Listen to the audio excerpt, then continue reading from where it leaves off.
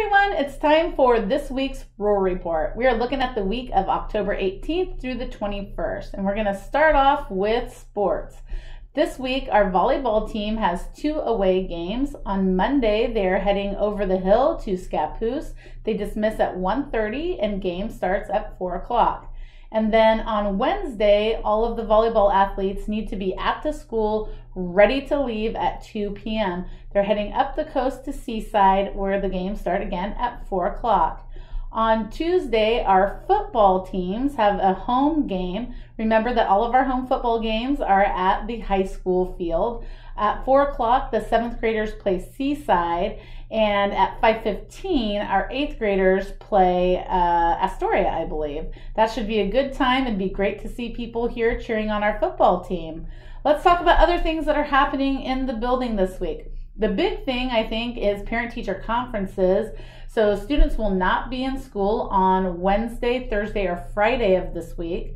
Um, parents can sign up for parent teacher conferences by going to tillamookjuniorhigh.com and clicking on the conference sign up schedule. It's a pretty slick deal. Everything's virtual this year, it's a Google Meet. If you have any questions, you can reach out to any of your students' teachers or you can call our office at 842 7531 and we can help you out with that.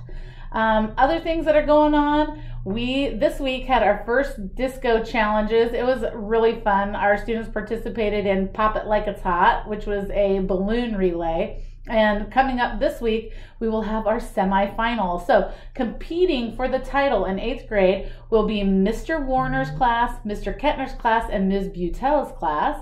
May the best eighth grade disco win. And then in seventh grade, we have Mr. Labasso, Mrs. Haran, and Mrs. Bernard competing. That's going to be a lot of fun. Um, as parents, you're going to see some paperwork coming home this next week for a fundraiser that we are having. It is our Zombie Run fundraiser. And so we are raising money to maintain and do a little upkeep on our school fitness trail, which is something that we use all of the time. It's a community use um, area. It's a pretty great thing. If you've never seen it, you're going to want to stop by the junior high, check out the trail. Um, maybe make a pledge to your students so we can keep that up and going. Uh, the zombie run will actually take place on October the 29th. That's a really fun day at the school. It's the day leading up to um, Halloween weekend, and we are allowing students to dress up that day. Just as a reminder, the um, costumes still need to be school appropriate, no gore, no weapons, um, and also you're just gonna have to work with me on this one. We still need to do masks but we can't have masks, if that makes any sense. So masks like this are okay, but masks that cover the entire face are no go. We still need to see who's in our building for safety's sake. And um, let's see, what else?